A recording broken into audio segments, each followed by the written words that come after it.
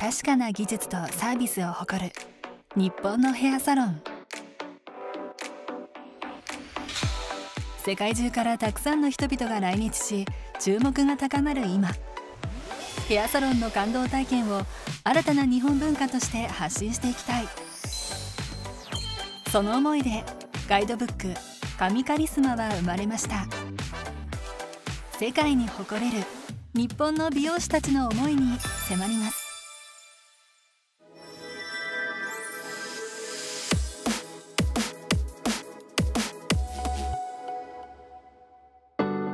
ヘアサロン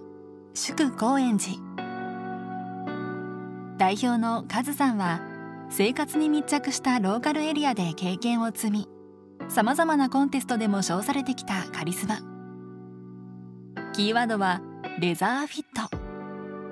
お顔周りとか耳周りあとは襟足。これっていうのが髪の毛が落ちてくる時に肌と髪の毛の間に入ってくる部分になるんですね。そのヘムラインの髪の毛をカミソリを使って肌になじませていくと。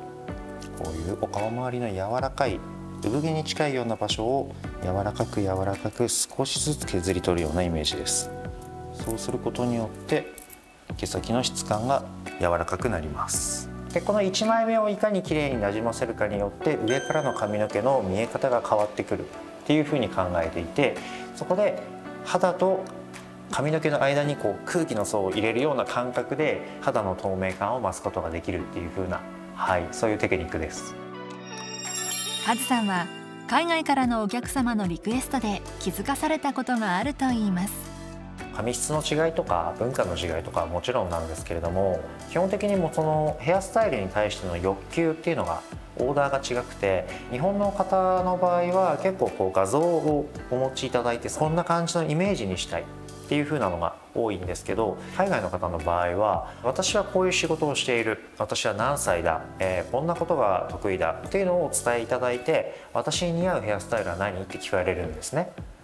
でそれを聞かれた時にやっぱり美容師としてそれぞれのそのパーソナルに合わせたそこから導き出すヘアスタイルの提案っていうものが求められているなっていうふうに感じたのでやっぱりそのインバウンドのお客様がいらっしゃることによって美容師としての幅とか引き出しの多さあとは知識量ですよね。その人を見てそこから派生したヘアデザインを作る能力っていうのはすごくこれから必要だなっていうふうに思いました。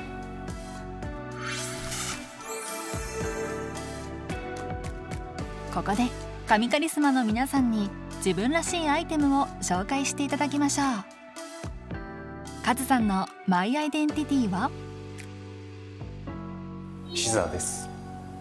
やっぱりそのカットで、えー、お客様の感動を導き出すっていうところが自分の根本になっているんですけれども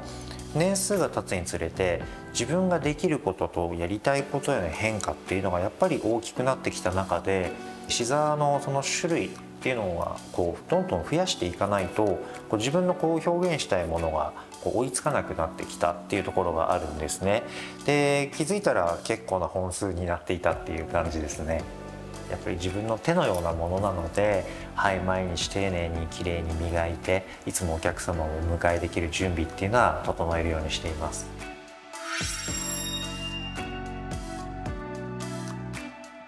大切なのはこうどういうふうになりたいかっていうビジョンを明確にしてそこに対してもうチャレンジをこう毎日毎日積み重ねていくことだと思うんですね。神カリスマでノミネートされてる皆さん自身も今もなお毎日チャレンジをし続けてる方々だと思うんです。やっぱりチャレンジをし続けることで自分の目標とか夢に近づいていくことができるのでこれを見てる皆さんにもチャレンジをやめずにしっかりまだ見たことのない自分に出会えるようにはい。頑張ってほしいと思います。